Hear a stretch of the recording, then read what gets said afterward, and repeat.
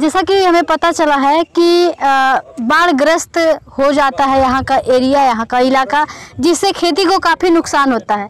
तो हमारे साथ एक बाबा हैं इनसे जानने की कोशिश करें क्या क्या प्रभाव पड़ता है जब बाढ़ आ जाती है तो? जब बाढ़ आ जाती है इधर की तरफ़ देखो आगे चल कर सारी खेती मरी हुई है। हम्म। और जब इस रास्ते को निकलते हैं तो गाड़ी भी उल्टे जाती है और पैर के निकलना पड़ता। हमें समस्या जगह पुलिया की भी है। अच्छा पुलिया की जगह है क्या? इससे पहले आप लोगों ने आवाज़ उठाई थी या नहीं?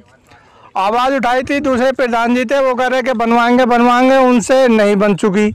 और अब फिर ये सोच रहे हैं कि बन जाए तो जैसे अब ये पुलिया बनी है हम्म। इस पुलिया को इधर को पानी आया तो पूरी सड़क पे उतर गया अब तो पानी से सड़क नहीं कटेगी। और इसलिए ये पुलिया बन जाएगी तो जैसे इधर बन गई ऐसे इधर बन जाए तो बड़ी सुकून रहेगी ये पुलिया बनने से आने जाने की भी सुविधा होगी या फिर जो बाढ़ का प्रकोप होता है उससे बचा जा सकता है हाँ उससे बचा सक बच जाएँगे और नहीं नहीं बचने के। इसमें अब भी इतना पानी है। मुझे बगल बगल पानी है अब भी इसमें।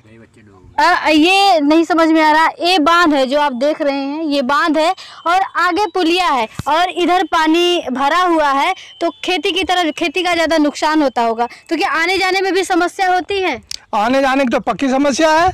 तो क्या पुलिया बनने से सही हो जाएगा? पुलिया बनने से इतना हो जाएगा कि जो मिट्टी पड़ जाएगी उसके ऊपर पानी कम हो जाएगा उसके ऊपर चलते फिरते रहेंगे। तो ये तो अभी भी दिख रहा है ना कि ये बाँध बनाया हुआ है इससे भी पानी रुका हुआ है यहाँ पे आने जाने की सुविधा है जैसा कि देख रहे हैं बैलगाड़ियाँ आ भी रही है इस पे।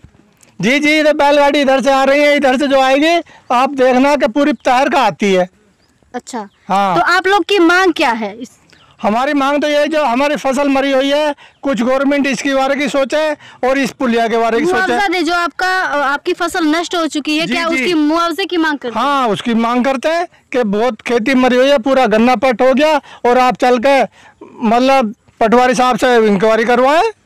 अच्छा इसका मतलब आप ये कहना चाह रहे हैं कि यहाँ काफ़ी नुकसान हो जाता है और ये मुआवजे की मांग कर रहे हैं क्योंकि बहुत ही मेहनत करने के बाद जाके फ़सल उगती है और जब बाढ़ आ जाती है तो सारी फ़सलें नष्ट हो जाती है, जिससे किसानों को बहुत ही मुश्किलों का सामना करना पड़ता है।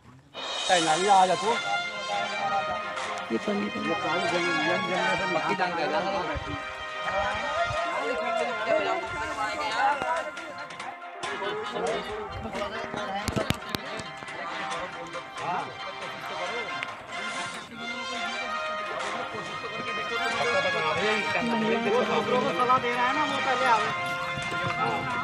वो आवे पहले निकल के नहीं तो बैठा रहे वो तो वही। हाँ, आने वाला भविष्य तो वही तो लड़ना हमारी तो कट ली हमारा क्या है? अब भी जो है ना बुड्ढो बुड्ढो को धार पर रखने लग रहे हैं आप।